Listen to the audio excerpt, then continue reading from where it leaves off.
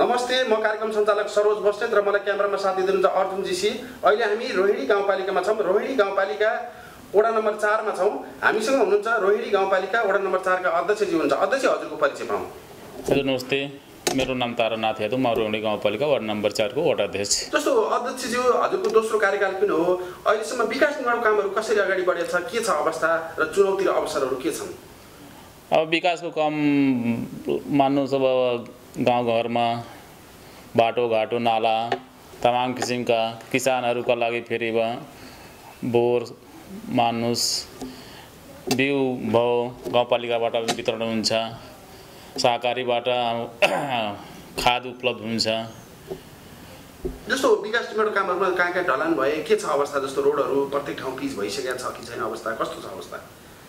अब रोहिणी चारमा लगभग धेरै गाउँ टोलमा लगभग पिसी ढलान र नालाको काम लगभग धेरै भइसकेछ।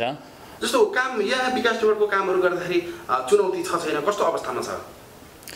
अब विकासको काम सर अब चुनौतीको के गरौँ अब? गाउँपालिकाबाट जुन विनियोजित हामी रकम पाउँछौँ एकमुष्ट जुन मिल्छ। अब त्यसै मध्येबाट हामी त्यो तेह्रवटा टोल छ। तेह्रवटा टोलमा अरू तमाम ऊ छ विद्यालय छ यहाँ मावि अरू तमाम विद्यालय छ मदरसा छ। अब सबै बाटेर हामी विकास निर्माणमा योजना जस्तो गर्छौँ। शिक्षा क्षेत्रको जस्तो विद्यालय अनुगमन कसरी गर्नुहुन्छ? शिक्षा क्षेत्रको अवस्था कस्तो छ रोहिणी चारमा? अब शिक्षाको कुरा गर्नुहुन्छ भने शिक्षाको अब लगभग हाम्रो यही रोहिणी चारमा चारवटा विद्यालय छ। दुईवटा मदरसा छ एउटा मावि विद्यालय हो। टेन प्लस टूसम्म चलिराखेको छ अब हामी जान्छौँ त्यहाँको गतिविधि हेर्छौँ के कति आवश्यकता पर्छ। आवश्यकता अनुसार हामी बजेट पनि हाल्छौँ। के हाल्दा हामी राम्रो हुन्छ। विद्यालय भाइ बहिनीहरूलाई राम्रो असर पर्छ। त्यही हिसाबले हामी बजेट बनाएर उहाँहरूलाई हामी गर्छौँ। र समय समयमा पनि हामी अनुगमन पनि गर्छौँ गएर हेर्छौँ।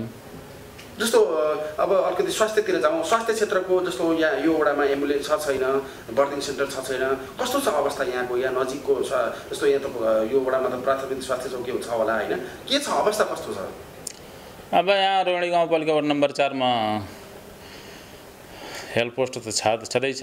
तर यहाँ एम्बुलेन्स छैन। एम्बुलेन्स हाम्रो पहिला त्यो सनोजीको कार्यकालमा चौहत्तरको जिते पच्चिस उहाँजीको का- सन्जीको का- कार्यकालमा हामी दुईवटा एम्बुलेन्स किनेको थिएँ तर एउटा त्यो पिपरामा गएको थियो वार्ड नम्बर पाँचमा एउटा हाम्रो दगदाई पिएचसीमा र वार्तिक सेन्टर भने हाम्रो दगदाईमा छ र वार्ड नम्बर एकमा छ र वार्ड नम्बर पाँचमा वार्तिक सेन्टर चलाउनुहुन्छ। अब प्रत्येक वार्डमा चलाएपछि त्यो उपलब्धि देखेन त्यही भएर हामी नजिकैमा छ।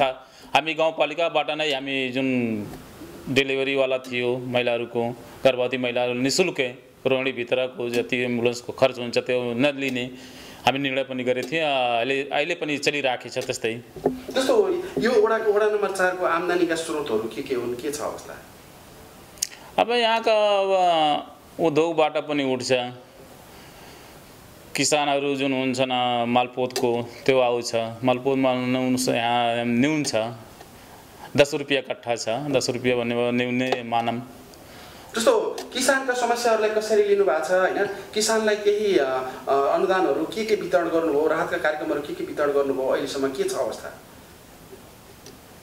अब किसानहरूको लागि अब गाउँपालिकाबाट पैसा हाल्नुभएछ त्यो मसिन अरू कृषि सामग्री के के वितरण? उपलब्ध गर्नको लागि। अब अहिले सुरु छ अब सम्झौता भइसकेछ अब सुरु हुन्छ त्यसको सूचना को को जस्तो गराउनु अहिलेसम्म भएछ केही वितरण गर्नुभयो किसानको लागि? अँ बोर हामी गरेछौँ धानको बिउ गेहूँ गेहूँको बिउ। प्रत्येक साल त्यो त चल्दै रहन्छ त्यो। जस्तो अलिकति तपाईँ युवा पनि हो होइन? जस्तो युवा भएको कारणले गर्दा युवा महिलालाई पिछडिएको वर्गलाई दलितलाई अपाङ्गलाई त्यस्तो राहत कार्यक्रमहरू केही अहिलेसम्म त्यस्तो रोजगारमूलक केही कार्यक्रमहरू गर्नुभयो? केही छ? त त हामी प्रत्येक साल हाल्छौँ महिलाहरूको लागि तमाम किसिमका कार्यक्रम हुन्छ लक्षित कार्यक्रम हुन्छ। अपाङ्गका लागि प्रत्येक साल हामी गर्छौँ। र जेठ नागरिकलाई हामी पनि प्रत्येक साल हामी सम्मान गर्छौँ। सिलाइ कटाइले भर्खर नै कार्यक्रमहरू के के सिप मुलाकोले भर्खर लगभग लगभग एक महिना पहिले भ्याइसकेछ। भ्याए लगभग दुई महिनासम्म चलेको थियो त्यो सिलाइ। लगभग चौबिस तिसजना लगभग महिला दिदीबहिनीहरूले सिक्नुभयो सिक्नुभयो। जस्तो यहाँको तपाईँको वडामा तपाईँ दोस्रो कार्यकाल पनि हो तपाईँको वडामा जनसहभागिता कस्तो छ? उत्साहजनक छ छैन तपाईँले बोलाउँदा? कस्तो छ यहाँको जनता? अब जनताको यहाँ अब दोस्रो काल काल दिनुभएछ यहीँको जनता माया र ऊ गरेर हामी प्रे विकासको काम हेरेर पनि हामीलाई जिताएछन् दोस्रो कार्यकाल। उहाँहरूलाई भने भने अनुसार हामी गर्छौँ। के भइदियो भने वडा नम्बर चार विकासको अगाडि रोजगारको अगाडि जाने थियो रोजगारले तीव्र गति लिने थियो भन्ने खालको तपाईँको सोचमा के छ सर? भिजन अब रोजगारको कुरो गर्नुहुन्छ भने अब रोजगार त अब यतिखेर यस्तो देशमा पुरै नम्बर चार चारका जनतालाई के भइदियो भने राम्रो हुने थियो जस्तो लाग्छ तपाईँलाई? अब यहाँ त अब रोजगार त अब हामी वाडाबाट गर्न दि सम् असम्भव छ। किनकि हामी अब गाउँपालिकाबाट त्यही सिपमूलक कार्यक्रम दिदीबहिनीहरूलाई युवाहरूलाई जस्तै प्लम्बरको तमाम किसिमका कार्यक्रमहरू हुन्छ त्यो हामी गराएर उहाँहरूलाई सिपमूलक तालिम दिन्छौँ। त्यसपछि उहाँहरूलाई विदेश जानुहुन्छ कहीँ अरू ठाउँमा गएर रोजगार गर्नुहुन्छ त्यति हामी गर्छौँ। धन्यवाद आफ्नो अमूल्य समय र सूचना दिएर दिएर हामीलाई सहयोग गरेकोमा रोहिणी गाउँपालिका वडा नम्बर चारका अध्यक्षज्यूलाई धन्यवाद। नमस्ते सर।